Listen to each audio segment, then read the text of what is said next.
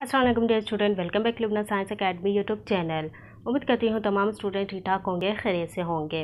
तो dear student आज हम ninth class biology chapter number one का लास्ट टॉपिक स्टार्ट करने जा रहे हैं डेट इज़ सेलुलर ऑर्गेनाइजेशन आज हम पढ़ेंगे कि सेलुलर ऑर्गेनाइजेशन की बेस पर ऑर्गेनिजम्स को कितने ग्रुप्स में डिवाइड किया है सेल्स की ऑर्गेनाइजेशन क्या है, उसकी एग्जाम्पल्स के बारे में डिस्कस करेंगे और सेल्स की टाइप्स के बारे में डिस्कस करेंगे। तो डे स्टूडेंट चलते हैं, अपना टॉपिक स्टार्ट करते हैं। Cellular organisation. जैसा कि आपको मालूम है कि दुनिया में जितने भी ऑर्गेनिजम्स हैं, वो किससे मिलकर बने हैं? सेल से मिलकर बने हैं। All organisms are made up of cell cell क्या है? Cell is the basic unit of life है मीन्स के ज़िंदगी की अकाई है। तो अर्थ पर जितने भी ऑर्गेनिजम्स हैं, जानदार हैं, उनको सेलुलर ऑर्गेनाइजेशन की बेस पर फाइव ग्रुप्स में डिवाइड किया गया है। वो फाइव ग्रुप्स कौन कौन से हैं? नंबर वन पर आ जाते हैं प्रोकैरियोट्स। ऐसे ऑर्गेनिजम्स हैं जिनमें न्यूक्लियस जो है वो वेल डिफाइंड नहीं होता for example bacteria. Number two पर है प्रोटेस्ट। ऐसे ऑर्गेनिज्म जिनमें न्यूक्लियस जो है वो वेल डिफाइन होता है, ये यूनिसेलुलर ऑर्गेनिजम्स होते हैं। नंबर थर्ड पर आ जाते हैं फंजाई। नंबर फोर पर है प्लांट्स एंड देन एनिमल्स इन फाइव ग्रुप्स को आप चैप्टर नंबर थ्री में डिटेल से स्टडी करेंगे, यहाँ पर आप सिर्फ़ इनके नाम याद कर लें, ठीक है? टाइप्स ऑफ़ सेल्स की बात की जाए तो हम पिछले लेक्चर में पढ़ चुके हैं कि सेल कितनी टाइप्स के होते हैं, दो टाइप्स के प्रोकैरियोट्स और eukaryotes pro mean before karyo means nucleus ऐसे ऑर्गेनिज्म जिनमें न्यूक्लियस जो है वह वेल डिफाइंड नहीं होता उनको हम कहते हैं प्रोकैरियोट्स ठीक है? यू कैरियोट्स के वर्ड की अगर हम देखें तो eu means true karyo mean nucleus ऐसे ऑर्गेनिज्म जिनमें ट्रू न्यूक्लियस होता है मीन्स के वेल डिफाइंड न्यूक्लियस भी होता है और ऑर्गनलीज भी होती हैं। प्रोकैरियोट्स की एग्जांपल अगर देखी जाए तो इसमें आ जाते हैं बैक्टीरिया और आर्की आर्की क्या है? आर्की भी बैक्टीरिया की ही एक टाइप है। यूकैरियोट की बात की जाए तो इसमें आ जाते हैं animals, plants, fungi, protist. Prokaryote में सिर्फ़ और सिर्फ़ जो है बैक्टीरिया आते हैं, जबकि यूकैरियोट में जो है सारे के सारे बाकी ऑर्गेनिजम्स आ जाते हैं। तो अब हम बात कर लेते हैं वेज टू ऑर्गेनाइज के सेल जो है वो किस अंदाज में आपस में मिले हैं, उनकी तरतीब क्या है? तो सेल के कंबाइन होने से थ्री तरह के ऑर्गेनिज़म बनते हैं। सेल ऑर्गेनिज़म जो है, वो basically three type of organization है।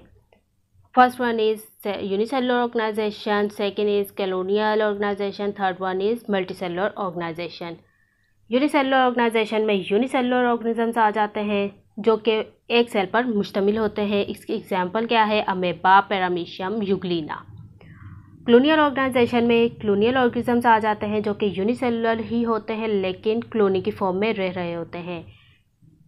इसमें एग्जांपल आ जाती है वॉलवॉक्स क्लोनी की। इसी तरह मल्टी सेलुलर ऑर्गेनाइजेशन में मल्टी सेलुलर ऑर्गेनिजम्स आ जाते हैं जो कि एक से ज़्यादा सेल्स पर मुश्तमिल होते हैं। इसमें एग्जांपल आ जाती है फ्रॉग मस्टर्ड प्लांट्स की। ठीक है, अब हम इन थ्री ऑर्गेनाइजेशन को डिटेल से स्टडी करते हैं। यूनिसेलुलर ऑर्गेनिजम्स जैसा कि नाम से ही ज़ाहिर हो रहा है uni mean one cellular means cell ऐसे ऑर्गेनिज्म जो कि एक सेल पर मुश्तमिल होते हैं, उन्हें हम कहते हैं unicellular organisms only one cell makes the life of an organism which carries all activities और यही एक सेल जो है, वो लाइफ की सारी एक्टिविटीज़ को कंट्रोल करता है. जैसे रेस्पायरेशन हो गया रिप्रोडक्शन हो गया एक्सट्रीशन हो गया डाइजेशन हो गया, ये सारी की सारी एक्टिविटीज़ जो है वो एक ही सेल जो है कंट्रोल करता है। ऐसे ऑर्गेनिजम्स को हम कहते हैं यूनिसेलुलर ऑर्गेनिजम्स एग्ज़ाम्पल की बात की जाए तो इसमें आ जाते हैं अमेबा पेरामीशियम और युगलिना नेक्स्ट है क्लोनियल ऑर्गेनाइजेशन ऐसे ऑर्गेनिज्म जो कि क्लोनियल ऑर्गेनाइजेशन में आते हैं, उन्हें हम कहते हैं क्लोनियल ऑर्गेनिज्म क्लूनियर वर्ड जो है वो क्लूनी से निकला है। क्लूनी क्या है? जब different types of organisms combine होकर रह रहे होते हैं तो हम उन्हें कहते हैं क्लूनी। इनमें जो है वो यूनिसेलुलर ऑर्गेनिजम्स ही आ जाते हैं, लेकिन ये ऑर्गेनिज्म जो है वो क्लूनी की फॉर्म में रह रहे होते हैं। यूनिसेलुलर ऑर्गेनाइजेशन जो है, हम पहले पढ़ी है, उसमें एक सेल जो है वो एक ही मुकम्मल ऑर्गेनिज़म बना रहा होता है और वो ऑर्गेनिज़म जो है, वो अकेले अकेले रह कर अपना जो है लाइफ गुजार रहे होते हैं। बट अगर यहाँ यूनिसेलुलर ऑर्गेनिज़म जो है, वो ग्रुप के फॉर्म में रह रहे होते हैं, इसमें, इसको हम कहते हैं क्लोनियल ऑर्गेनिज़म्स इसमें भी जो है, वो डिवीज़न ऑफ़ लेबर नहीं होती मींस कि हर सेल जो है, वो अपना अपना काम खुद करता है। एग्ज़ाम्पल की बात की जाए तो वॉलवैक्स इसकी एग्ज़ाम्पल है। वॉलवॉक्स क्या है? Volvox is a green alga. ये क्या है? ग्रीन एल्गा है फाउंड इन वाटर जो कि वाटर में पाया जाता है। Hundreds of volvox cells make a colony हज़ार हंड्रेड्स ऑफ़ वॉलवॉक्स सेल जो है, वो मिलकर एक क्लोनी बनाते हैं। डायग्राम में आपको नज़र आ रहा है, ये क्या है? वॉलवॉक्स जब ये सारे वॉलवर्क्स जो है, वो मिलेंगे तो क्या बनाएँगे? एक क्लोनी बनाएँगे।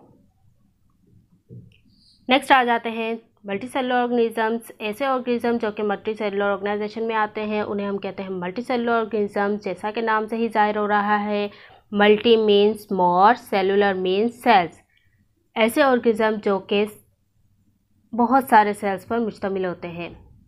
बहुत सारे सेल से मिलकर बने होते हैं। उन ऑर्गेनिजम्स में जो है, वो टिश्यू भी प्रेजेंट होता है ऑर्गन भी होते हैं और ऑर्गन सिस्टम भी होते हैं। ठीक है? उन ऑर्गेनिज्म उन ऑर्गेनिजम्स को हम कहते हैं multicellular organisms for example frog और मस्टर्ड प्लांट्स मस्टर्ड प्लांट क्या है? मल्टी सेलुलर ऑर्गेनिजम्स की एग्जांपल है. इसका साइंटिफिक नेम क्या है? ब्रासिका कैम्पेस्ट्रिस मस्टर्ड प्लांट की बॉडी को टू पार्ट्स में डिवाइड किया जाता है.